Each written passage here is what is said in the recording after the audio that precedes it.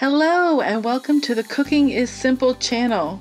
Today I'm going to show you how to make one of my favorite recipes, Crazy Easy Energy Bars. These energy bars are a great snack. They don't contain any sugar or any flour. So let's get started. First, simply put the ripe bananas on a plate or in a bowl and mash them with a fork. You can even use your hands if you like. Then put the mashed bananas into the large mixing bowl. Add three and a half cups of oats. Then add one cup of sliced almonds. Add a half cup of walnuts. Add a half cup of raisins, a half cup of maple syrup, add one cup of peanut butter, and then one tablespoon of cinnamon. Then mix everything together thoroughly. Be sure that everything is mixed well so that you can get a bit of each ingredient in every bite. Grease the baking dish with butter or a few drops of oil.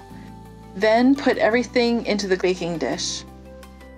Preheat your oven to between 325 and 350. Then bake them for 40 minutes. When they're done, you can take them out and let them cool for a few minutes and then you can cut them into bars. It's best to cut them before they're completely cool because they'll be easier to cut.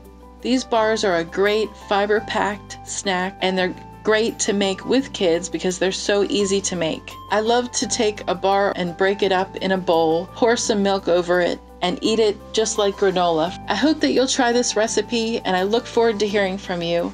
Feel free to comment below. And just remember, cooking is simple.